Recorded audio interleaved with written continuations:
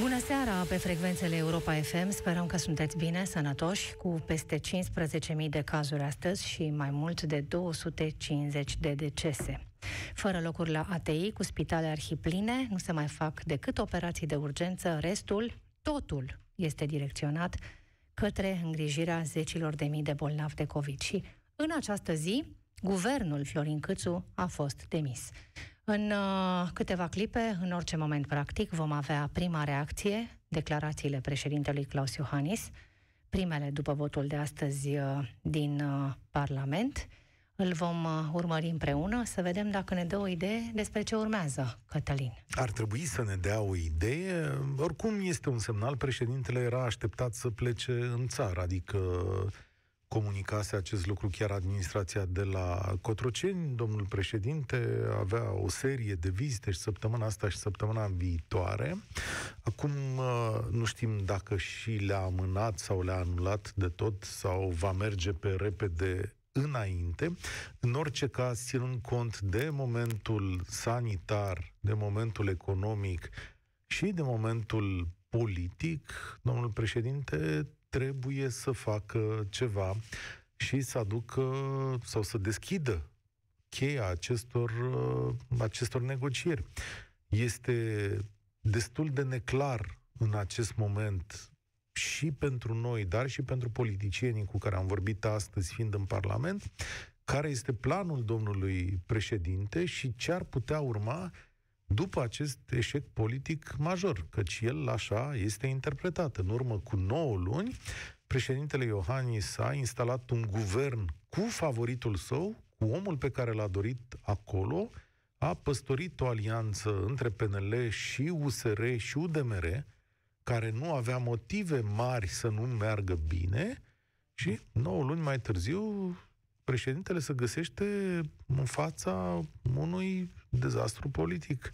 Adică nimeni nu îl mai sprijină în acest moment pe domnul Câțu, nici măcar întreg partidul său. Un uh, rezumat a ceea ce s-a întâmplat astăzi în uh, Parlament. A fost... Dezbaterea moțiunii în două ore, două ore și jumătate, apoi uh, vot, vot secret cu bile, cum se obișnuiește la moțiuni de cenzură. 281 de parlamentari au votat, ceilalți au stat pe margine sau n-au venit.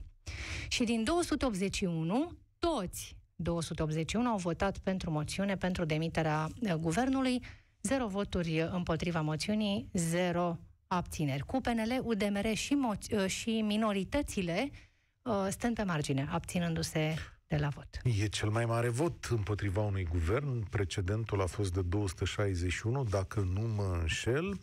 Uh, și probabil că dacă PNL nu voia să dea uh, senzația unui partid unit, măcar 30 de parlamentari, cei din jurul lui Ludovic Orban, ar fi votat și ei împotriva domnului Câțu. Altfel a fost o dezbatere pe repede înainte, lipsită de emoțiile și de tensiunea obișnuită. Uh, cred că George Simion de la Aura a sintetizat foarte repede. Știi că grupul Aura a renunțat la uh, discursuri a venit și a rostit o singură propoziție, niciun cuvânt, destul, la revedere. Tu ai transmis în direct din Parlament, uh, inclusiv dezbaterea cu ascultătorii Europa FM, Cătălin, la România în direct, întrebându-i frontal cum ați votat dacă ați avea ocazia să votați azi în Parlament. Da, i-am întrebat acest lucru pentru că în acest moment, dincolo de o întreagă listă de reproșuri care pot fi adresate guvernului Câțu și care au fost rostite și în sala Parlamentului. În mod inevitabil există și lucruri bune ca în viața oricăror persoane și în viața oricăror guverne. Și lucrurile astea bune pot fi adunate și ele pe o jumătate de pagină. De asta am întrebat pe oameni despre chestiunea asta. Până la urmă este vorba de guvernul care a reușit să negocieze PNRR-ul, câți bani vor veni și cum vor fi cheltuiți, vom vedea, dar el este negociat. Ăsta e un succes pentru România. În egală măsură, nu au mărit taxele și uh, au avut o doză de stabilitate. Și sunt curios acum ce spune președintele Iohannis, că urmează, nu? Imediat uh, ce uh, vom avea transmisiunea în direct de la Palatul Cotroceni, uh, îl vom auzi, iar apoi comentarii Cristian Tudor Popescu și Cristian Preda. Trist dar adevărat. Cuvântul care caracterizează cel mai bine România de astăzi este cuvântul criză. Suntem într-o criză a sistemului de sănătate publică, suntem în plină pandemie. Valul 4 ne-a lovit și ne-a lovit rău. Suntem într-o criză a prețului la energie, o criză care este și europeană și globală. Deci de lucru ar fi suficient pentru politicieni să rezolve problema pandemiei, să rezolve problema prețurilor la electricitate, dar ce s-au gândit unii dintre politicienii noștri să mai adauge o criză, o criză a guvernării. În acest fel, astăzi, în Parlamentul României, a fost votată o moțiune de cenzură împotriva guvernului, care a avut succes. Deci, cum se spune mai colocvial, guvernul a picat în Parlament. În ultimele luni s-au spus foarte multe lucruri în politică, majoritatea lucruri urâte. Politicienii s-au obișnuit să se arate unul pe celălalt cu degetul, să se acuze de diferite lucruri, asta inclusiv în interiorul partidelor, oamenii nu știu ce să mai înțeleagă. Este o situație complicată, o situație care a fost generată această moțiune și trecerea ei prin Parlament de politicieni cinici, de politicieni cinici, unii purtând masca reformismului, alții clamând grija pentru români și așa mai departe.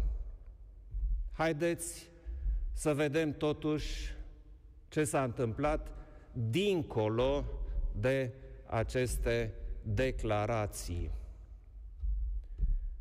USR a fost parte din coaliția de guvernare.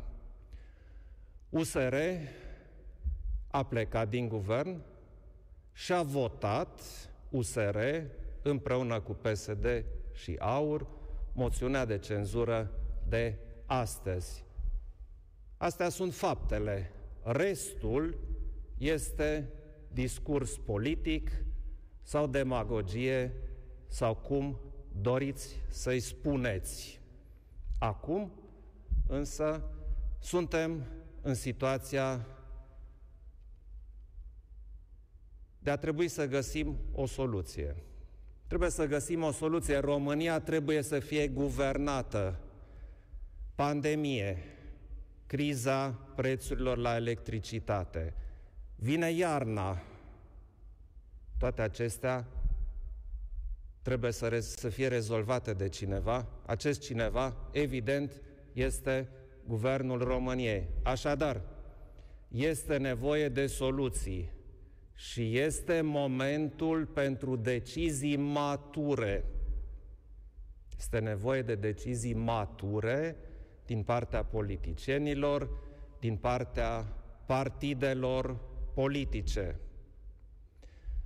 Pentru a da timp partidelor politice să se întrunească în forurile interioare, să găsească abordări mature și să vină cu ele la consultări, voi convoca consultări cu partidele politice abia săptămâna viitoare. Acum se cere maturitate și responsabilitate. Președintele Claus Iohannis, în direct de la Palatul Cotroceni, în seara demiterii guvernului Florin Câțu, cu un uh, scor zdrobitor, 281 de parlamentari au votat pentru moțiunea de cenzură. Câteva idei uh, transmise de președinte, trist dar adevărat. Cuvântul care caracterizează cel mai bine România de azi este criză, valul 4 ne-a lovit rău, suntem într-o criză a prețului la energie și în acest context, spune președintele, și citez, ce s-au gândit unii politicieni? Să mai adăugăm o criză a guvernării. În ultimele luni în politică s-au spus foarte multe lucruri, majoritatea urâte. Situația a fost generată, spune președintele, de politicieni cinici, unii purtând masca reformismului, alții clamând grija pentru români. Dincolo de declarații, spune Claus Iohannis, USR a fost parte din coaliție, a plecat din guvern și a votat moțiunea împreună cu PSD și AUR. Este momentul pentru decizii mature. Prin urmare, Claus Iohannis le dă un uh, răgaz de gândire și consultări interne politicienilor, căci spune că va convoca la Cotroceni consultări cu partidele parlamentare, citesc din nou, abia săptămâna viitoare. Bine, e și plecat. Adică mă uit acum pe agenda domnului președinte, el în seara asta este în Slovenia. Deci și Dar mâine, se și întoarce. Și mâine e tot acolo, că durează două zile. Și reuniune. mâine nu e decât miercuri. Dacă e să facem o cronologie. Pe zile Ah. lucrătoare. Da, ai dreptate. Stai că m-am gândit că joi și vineri, uh, chiar joi și vineri, Chiar. Chiar. Joi și vineri. Bun, acum, hai să ce să mai... Abia săptămâna viitoare, chiar el a nuanțat. Deci, abia săptămâna viitoare. e criză, criză, dar să începem Bun. cu o pauză. Um, la cine se referă când vorbește despre politicienii cinici care s-au gândit să mai adauge o criză a guvernării? Păi, la Dan Barna, Dacian Cioloș și uh, restul grupului de la USR Plus, nu? Pentru că acolo s-au rupt apele când domnul președinte și guvernul Câțu, premierul Câțu au uh, forțat plecarea lui Stelian Ion de la justiție, nu? Acolo s-a întâmplat toată problema asta. Adică ar fi trebuit să rămână. Asta zice domnul președinte. Cristian Tudor Popescu, gazetarul și uh, editorialistul Cristian Tudor Popescu, în direct la Europa FM. Bună seara! Bună seara! Aduce Bună seara, ceva, ceva nou declarația președintelui, domnule Popescu? Nu, așa cum mă așteptam. Uh, Nu avea ce să spună decisiv în această seară președintele. A ținut să își facă această apariție ca să ne anunțe că joacă uh, în continuare, joacă în această telenovelă sinistră, politică, și nu joacă golf. Nu, joacă altceva. Uh, cu faptul că a apăsat din nou pe vinovăția USR Plus, uh, practic închide, nu, e una, este singurul lucru pe care uh, cred că l-am putea reține din ce a spus președintele, uh, a ales să-i acuze din nou pe USR Plus pentru această criză, ceea ce sigur că uh, face improbabilă, extrem de improbabilă, o înțelegere cu acest uh, partid în vederea refacerii coaliției. Și atunci va merge, probabil, domnul Iohannis va merge cu câțul până în pânzele albe, numai că pânzele uh, acum nu mai sunt albe, sunt negre. Uh, în situația asta, uh, dacă va, îl va renumi pe Câțu intrând într-o dispută constituțională cu motivația curții în cazul Orban Câțu de anul din uh, 2020, uh, există acolo o portiță în motivație de care se poate agăța uh, Iohannis, se poate se agăța PNL-ul, uh, asta va consuma timp. Și în tot acest timp vom avea un guvern interimar condus de același Florin Câțu, Florin Câțu care are în clipa de față o cotă de antipatie uh, dincolo de uh, jocurile politice, uh, dincolo de cifra asta zdrobitoare din uh, Parlament, care și ea spune ceva oricărui cetățean. Domne, indiferent cine, cum, de ce a votat, sunt 281, zdrobitor. Dincolo de acestea însă, e un, uh, a reușit domnul Câțu să trezească un, uh, un val de antipatie uh, populară pe care cred că numai Dragnea l-a mai avut uh, din motive diferite în, uh, la începutul anului 2019. Uh, deci își uh, asumă domnul Iohannis încercând să-l mențină pe uh, Florin Câțu, uh, își asumă, după părerea mea, o situație foarte dificilă, cu consecințe, vă dați seama. Guvernul ăsta trebuie să gestioneze uh, această, nici nu mai este criză. Uh, România este într-un dezastru medical în acest moment și va fi în următoarele zile din ce în ce mai rău.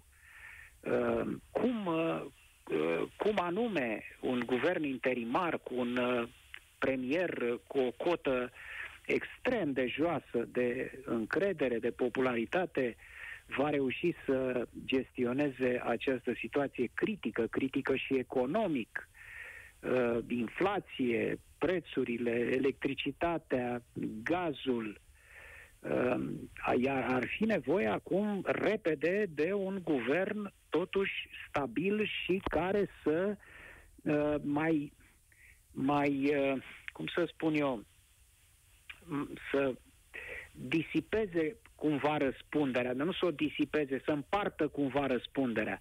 Așa, aici, practic, Câțu este, este guvernul în momentul de față și el este cel care trebuie să uh, îi convingă pe cetățeni să-i fie alături în aceste momente grele, în încercarea de uh, depășire a lor, ceea ce cred că îi este foarte greu. Și atunci, după părerea mea, soluția uh, cea mai puțin rea pentru țară acum ar fi refacerea uh, coaliției și n-ar avea decât președintele Iohannis să numească pe altcineva de la PNL, firește, uh, uh, premier și în felul acesta să uh, deschidă posibilitatea refacerii unui guvern uh, stabil uh, rapid. Împreună Dar, cu USR, vă gândiți? Împreună cu USR? Da, cu, așa ar fi fost. Eu nu mă gândesc. Nu cred că va face asta pentru că nu are sens. Uh-huh. Încă o dată, acum, dacă a ieșit la ora 18 ca să ne spună că uh, Uh, vinovații, mari vinovați sunt cei de la USR care s-au aliat cu PSD și cu AUR, vă dați seama că nu e un început pentru o negociere cu, cu USR-ul. Dar... Dar aceasta ar fi, dincolo de tot ce s-a întâmplat, dincolo de uh, ranchiună, dincolo de um, antipatii și chiar ură ce este acolo, uh, pentru uh, România în acest moment aceasta ar fi soluția matură, cum uh, spune uh, domnul președinte și a repetat în discursul său acest cuvânt. Aceasta ar fi soluția matură, refacerea coaliției. Mm, un guvern din ăsta zburător, cum este și premierul Superman, Uh, cu Câțu în continuare în frunte, menținându-se prin eu știu ce artificii, mai mult sau mai puțin constituționale, nu cred că este soluția. Uitându-vă la ceea ce s-a întâmplat în ultimele luni, domnule Popescu, dumneavoastră cui atribuiți responsabilitatea pentru demiterea guvernului astăzi? Dacă ne uităm uh, în mod uh, uh, tehnic la ce s-a întâmplat, această criză a fost generată de către premierul Câțu. Clar. Deci premierul Câțu l-a demis pe Stelian Ion, pe ministrul justiției, într-un moment în care mai avea marjă de negociere. În mod evident. Nu se găsea într-o situație mm, critică, într-o situație de conflict ireductibil cu uh, USR Plus acolo. Putea să mai negocieze cu PNDL-ul ăla, mă rog, avea nevoie de el pentru partid, foarte bine, mai negociau. Uh, deci a, a, acolo a decis lucrul acesta în mod sigur de comun acord cu președintele Iohannis, uh, având în minte și ce va urma. Pentru că n-aveai cum să nu faci această proiecție că va fi ales președinte la PNL, acolo nu avea cum să se opună Orban, uh, și că va pica apoi guvernul prin moțiune de cenzură, nu? Pentru că USR Plus nu putea accepta un al doilea ministru demis în felul acesta intempestiv, uh, provocator. Deci, uh, criza aceasta a fost generată, a fost începută în mod deliberat de către uh, Câțu și Iohannis, să vedem unde se duc ei cu, cu planul lor mai departe, uh, dar după aceea au contribuit la adâncirea acestei crize și a, la agravarea consecințelor ei, USR Plus, uh, care s-a acoperit și de ridicol, uh, doamnă Iacobescu. Este partidul care Uh, pe lângă faptul că a pierdut în această uh, în aceste înfruntări politice, uh, s-a acoperit și de ridicol, cuplându-se inutil, lipindu-se de aur degeaba, pentru că nu n-a dus nicăieri acea Domnule Popescu. moțiune, nici măcar nu a fost discutată. De asemenea, aur și PSD n-au făcut decât să întețească această criză, pentru că aveau tot interesul să se întâmple ce s-a întâmplat. Dar declanșarea aparține uh, președintelui Iohannis și premierului Câțu.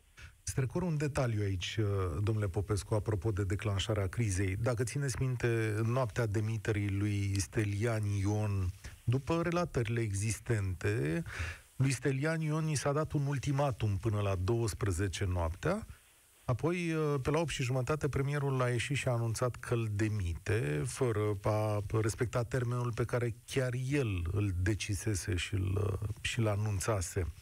De asta, în acest context, ținând cont că deliberat au făcut chestiunea asta, credeți că există un plan, adică că au fost niște pași de urmat, uite, provocăm o criză cu un scop, mergem din punctul A în punctul B și la sfârșit o rezolvăm de maniera care?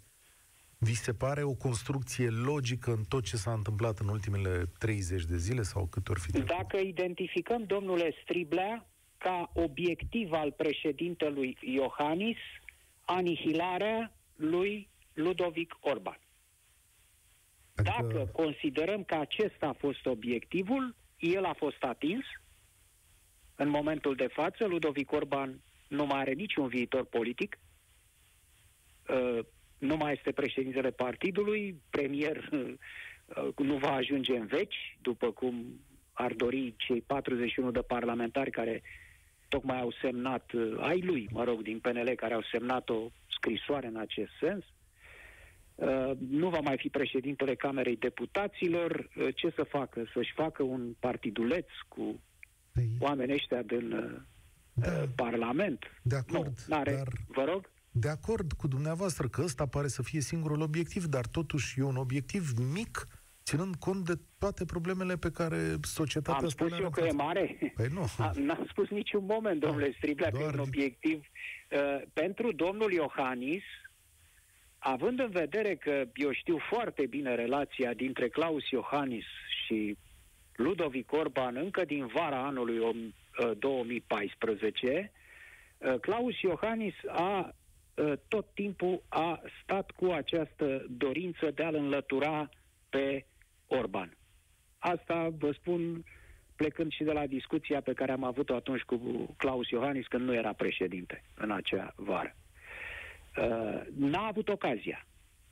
N-a avut ocazia, vă amintiți că în anul trecut, când uh, s-a pus problema Câțu Orban, uh, atunci când, uh, când, după alegeri, cine să fie uh, premier, uh, n-a intervenit Claus Iohannis. A ieșit și a spus, domne, ce veți? De-o fi una, de-o fi alta, ce e scris și pentru noi, aia o să promulg. Aia o să Uh, o să desemnez. Deci dacă îl des și a spus expresis verbis, dacă va fi Orban, o să-l desemnez pe Orban. Și a fost câțu pentru că așa a vrut USR Plus.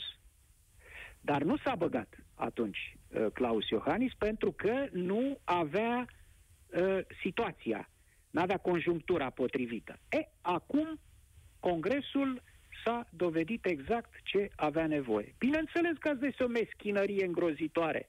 Bineînțeles că trebuie să fii responsabil să declanșezi toată nenorocirea asta uh, ca să-l dai jos pe Ludovic Orban. Dar dacă acesta a fost singurul uh, obiectiv, uh, atunci ar trebui măcar acum Claus Iohannis, măcar acum ar trebui să spună, bun, mi-am văzut obiectivul atins, Orban nu mai este, hai domne să-l punem pe, nu știu, cineva de acolo, Vâlci, ăla, cum îl cheamă, Vâlceanu, Ciucă, pe oricine.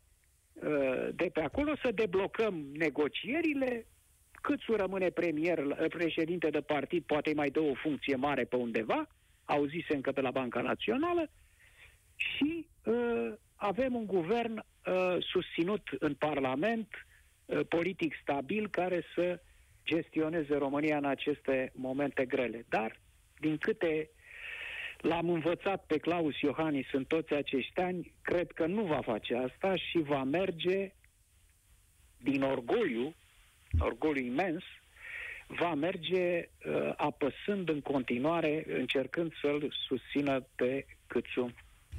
Mulțumim tare mult pentru intervenția în direct, domnule Popescu.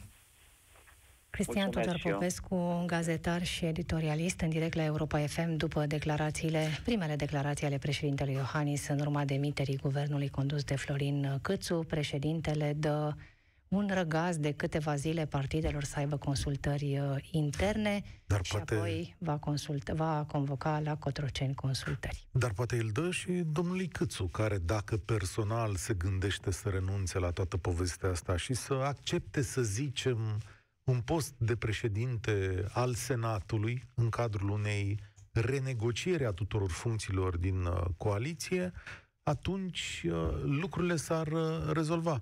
Adică această coaliție ar fi refăcută, posturile reîmpărțite și în momentul acela toate lucrurile se deblochează.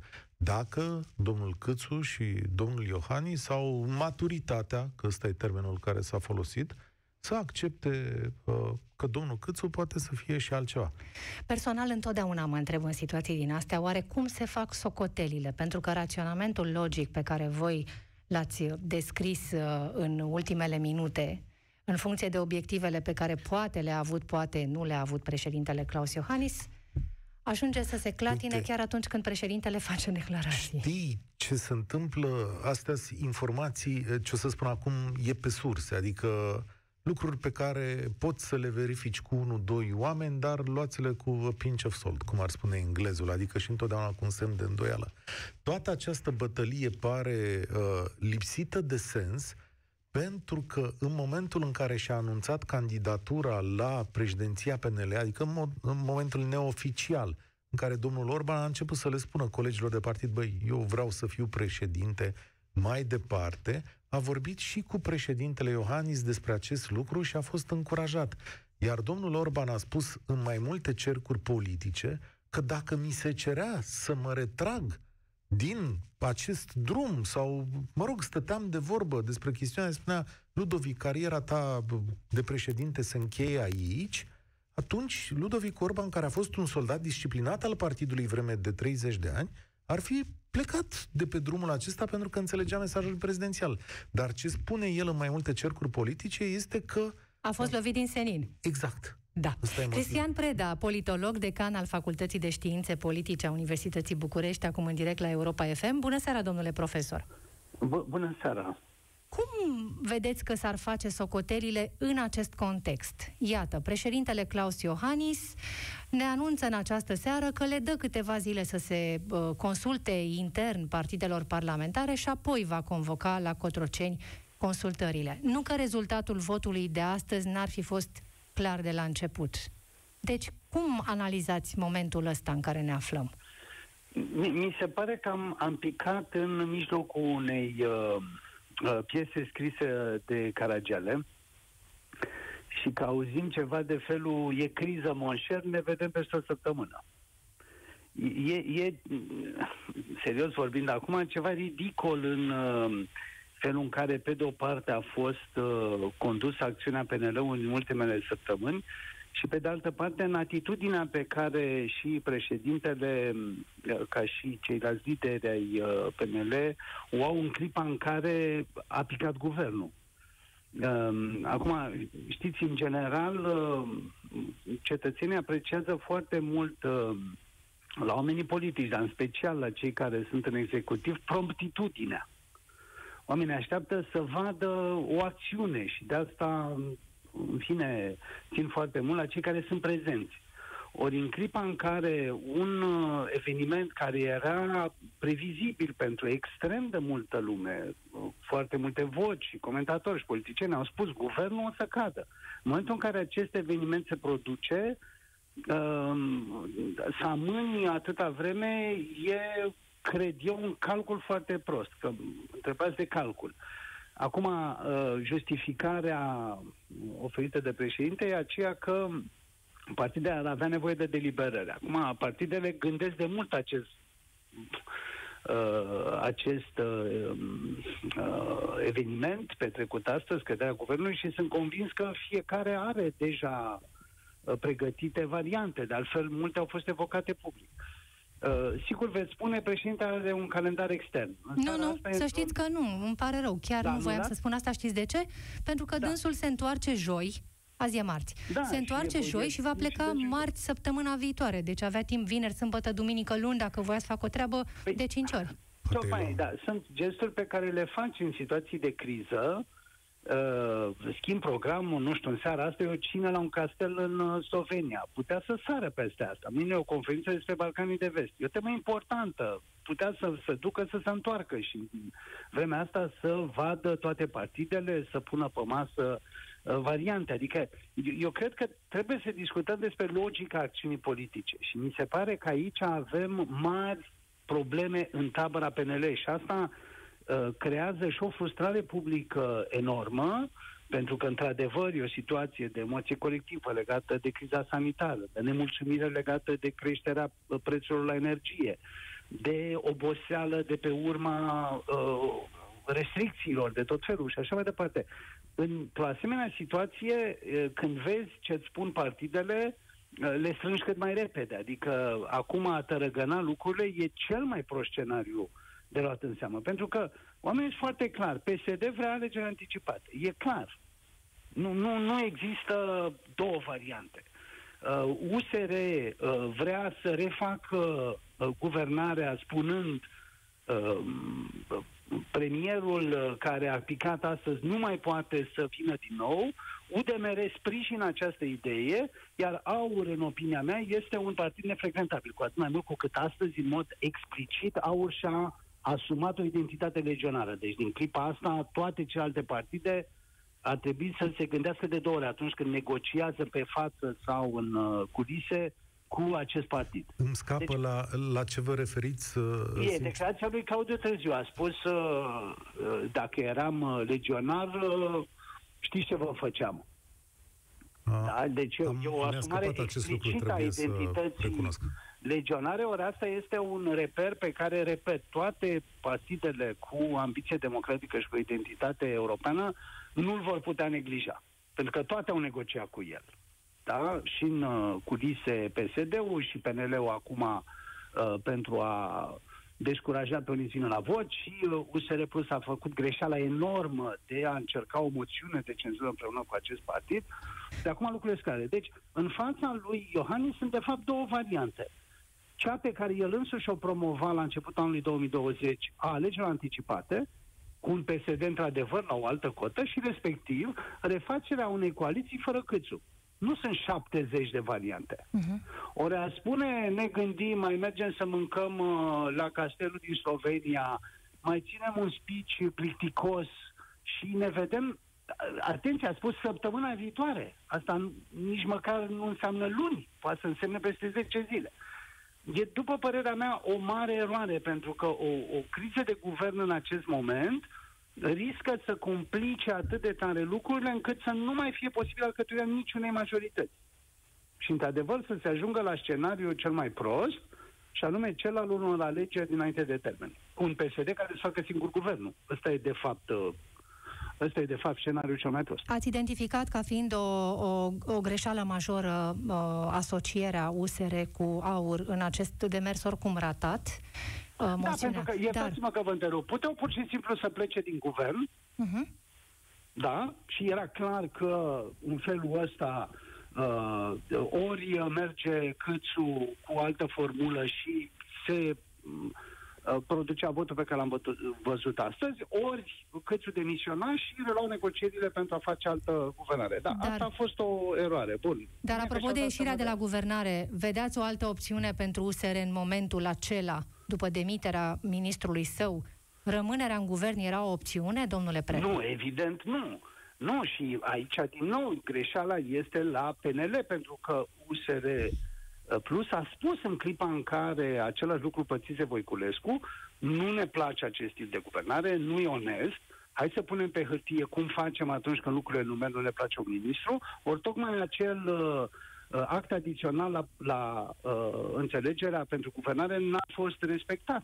Și credeți că a fost ori... o greșeală? Nu, n-a fost o greșeală ieșirea de la guvernare. A fost o greșeală nu. faptul că până să iasă de la guvernare au avut năstrușnică idee de a semna o moțiune cu aur. Nu, scuze, reformulez. Nu, nu, nu. Credeți că din partea PNL-ului a fost o eroare neintenționată, această forțare prin demiterea nu, lui Stelian Ion? Nu, eu cred că în PNL a fost dominant curentul reprezentat de POC și de foarte mulți pedeliști care consideră că politica partidului trebuie dictată de la Cotroceni. Eu recunosc, vă mărturisesc din experiență directă, că a fost membru al Partidului Democrat Liberal, acest stil, șeful are dreptate, hai să-l sunăm pe, pe șeful. Și asta este o greșeală. Prezidențializarea Partidului Național Liberal e o eroare la fel de mare ca și prezidențializarea Partidului Democrat Liberal. Ca să nu mai vorbim că depinde, depinde foarte mult și de structura personală a președintelui în funcție, pentru că acest obicei a fost exact. creat la PDL într-un alt, în mandatul altui președinte. Exact, și cu o mare diferență. Traian Băsescu era o persoană care cunoștea foarte bine acel partid.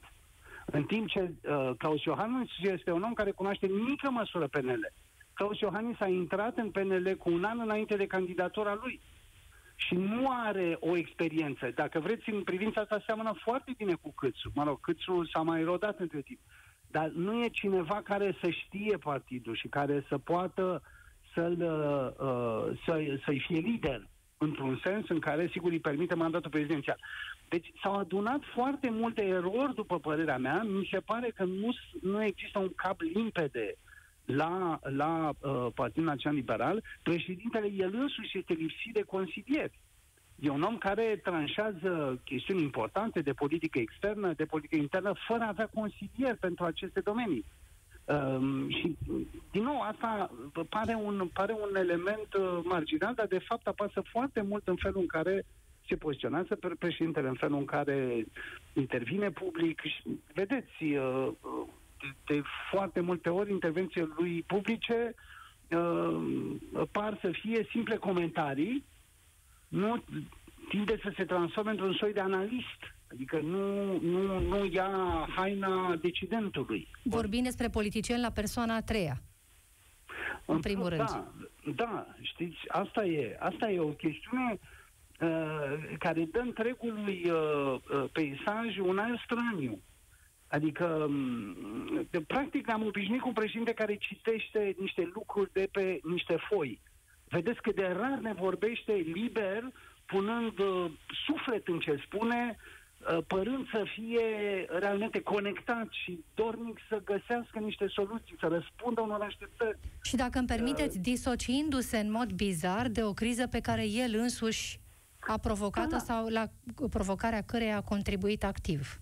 Da, or, lucrul ăsta sară în ochi și asta îl, îl lipsește de autoritate. Mi-am permis să fac, după căderea guvernului Câțu, un comentariu zicând că votul împotriva lui Câțu este o delegitimare a președintelui, e un fel de suspendare a președintelui fără să intervină procedura propriu și fără un referendum. Pentru că el a mers cu, cu, cu Câțu în zid și el este cel care e blamat în acest moment. De asta, din nou, ideea de a amâna consultările, ideea de a amâna momentul în care stă și ascultă ce îi spun partidele, ia în seamă ceea ce se poate face în acest moment, este o eroare. Adică mi se pare că e în continuare pe acest drum uh, foarte greșit. Da, mulțumesc tare mult pentru intervenție, Cristian Preda politolog, decan al Facultății de Științe Politice a Universității București și fost politician. Bine de amintit, președintele e în seara asta în Slovenia, da? Își petrece și ziua de mâine acolo. Se întoarce joi. Joi, da.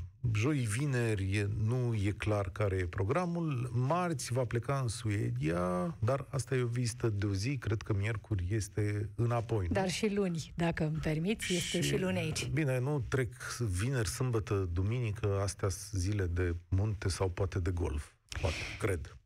Bun, câteva minute din această ediție specială am sunat-o pe Ioana Nedojoiu, colega noastră, realizatoarea emisiunii Piața Victoriei uh, de joi uh, și pentru analiză politică. Bună seara, Ioana! Bună seara! Dar și pentru a uh, furniza în premieră informația că joi la Piața Victoriei l-a invitat pe Marcel Ciolacu, președintele PSD, Ioana. Da, speram eu ca discuția cu domnul Ciolacu să fie după prima rundă de consultări, ea ca nu va fi așa.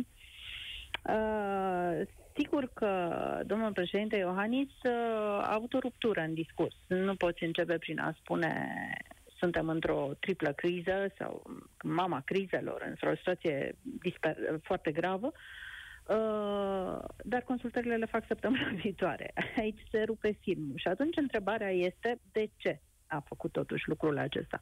Din punctul meu de vedere pot exista două soluții, două explicații. Unu, ori domnia sa chiar nu are în momentul acesta o soluție și se simte uh, cu spatele la zid, ceea ce ar fi oarecum uh, șocant, având în vedere că deznodământul moțiunii ar fi trebuit să fie clar. Ne era deja nou clar. E greu să cred că nu era clar președintelui. Uh, această evoluție a crizei pare cumva, poate că l-a luat prin surprindere și acum trebuie să-și tragă respirația și să caute soluții. Nu este o variantă pe care o acreditez în mod special.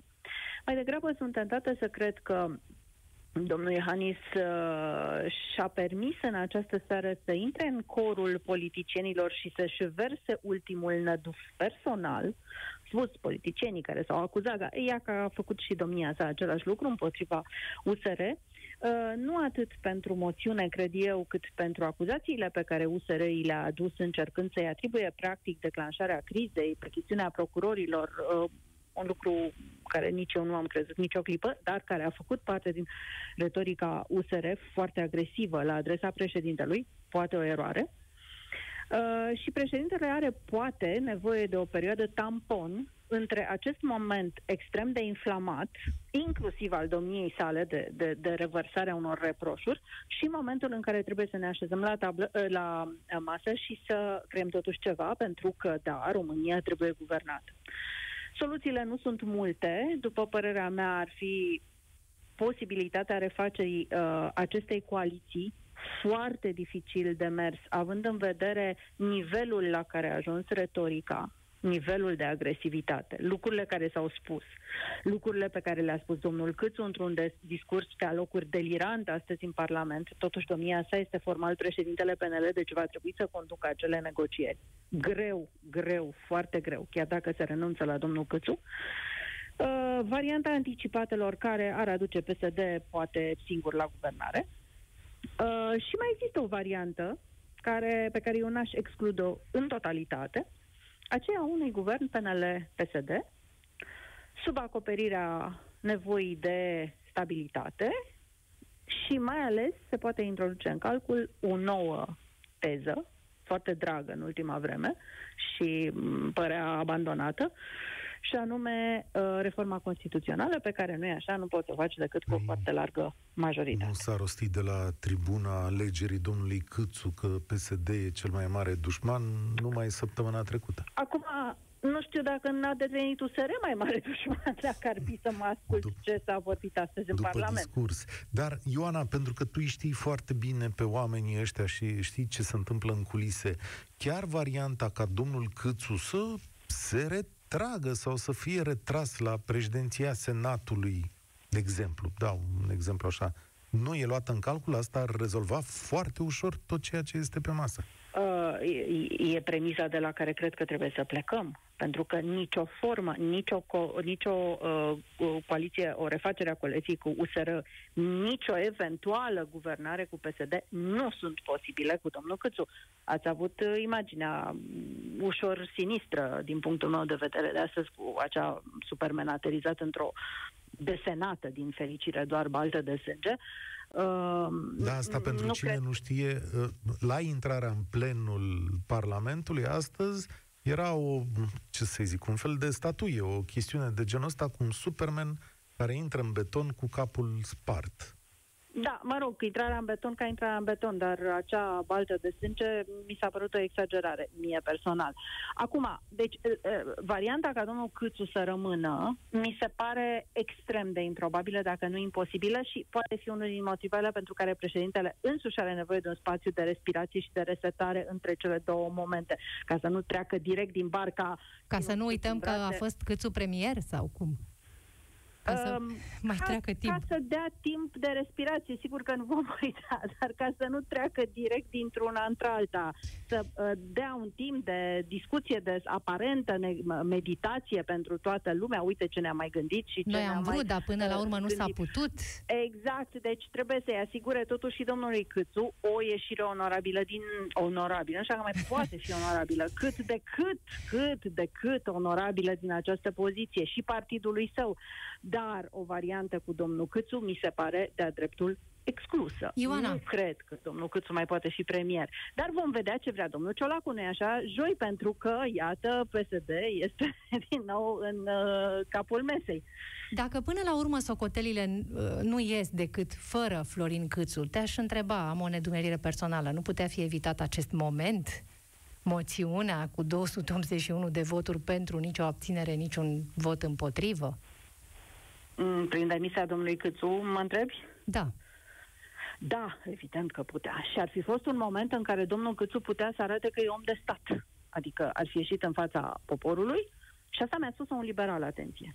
Un liberal care n-a fost implicat în bătăliile interne din ultima vreme, a stat mai retras, Uh, și care mi-a spus dacă domnul Câțu voia să își construiască o statură de om de stat și să șteargă o parte din tot ceea ce s-a întâmplat în ultima perioadă și din tot ce a provocat în ultima perioadă, avea această posibilitate și să iasă să spună, iată, aceasta este demisia mea, nu pentru că mă consider vinovat de ceva, dar nu vreau să fiu eu cel care ține România în loc și voi continua să fiu președinte PNL, voi propune un premier PNL care să meargă mai departe și pe care eu îl voi susține cum nu am fost eu susținut de domnul Orban, de exemplu.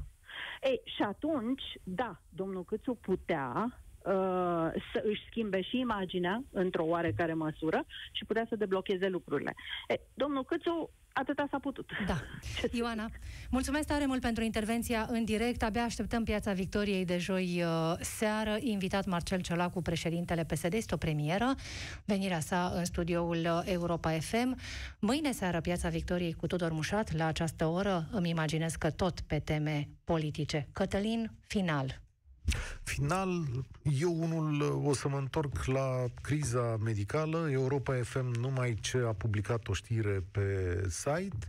Este o exclusivitate obținută de colegii noștri. Uh, rezidenții de urgență sunt chemați de urgență în spitale, trebuind să-și întrerupă toate stagiile oriunde le-ar afla dar bănuiesc că mai multe detalii o să aveți la ora 19. Peste câteva minute doar, final de ediție. Vă mulțumim tare mult pentru atenție. Știrile care contează la fix.